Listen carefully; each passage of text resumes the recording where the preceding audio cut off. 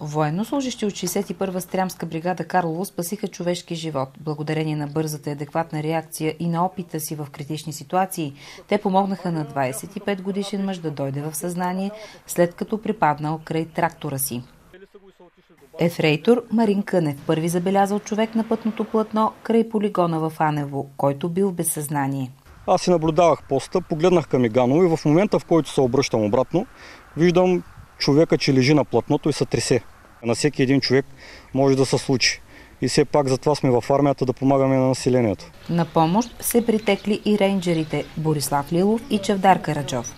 Помолих колегата да му отворим устата, защото беше вече последния стадий на гълътия на език, беше посинял. 20 секунди му бяха достатъчни да не може да го спасим. Той е възпитаван в този дух.